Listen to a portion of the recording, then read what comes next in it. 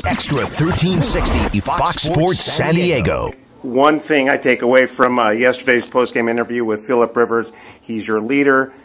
When he says he's a loss for words with the way they've lost another game, what's that say?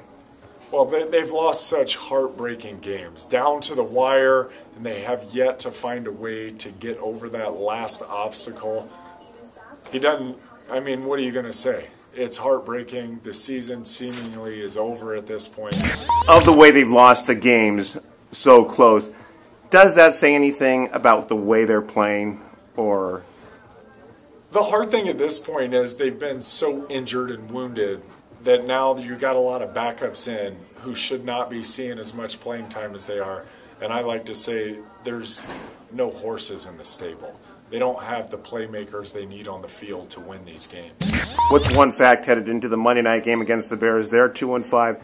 Is establishing something early on is that something we could lean toward? Well, you've got an opportunity to establish the run this week. The last several games we've been playing top 10 defenses against the run.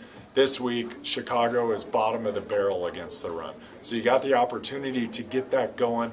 I'd love to see Philip Rivers under center, Melvin Gordon in the dot behind him with options to run either way, put him in a good position physically and mentally. Something that he's used to and that he's succeeded with in the past is quarterback under center, give me the ball, let me have some cutback lanes they've got an opportunity to do it. We'll see if they take it. All right, that's Nick's Hard Facts with Nick Hardwick at SportsSD.com.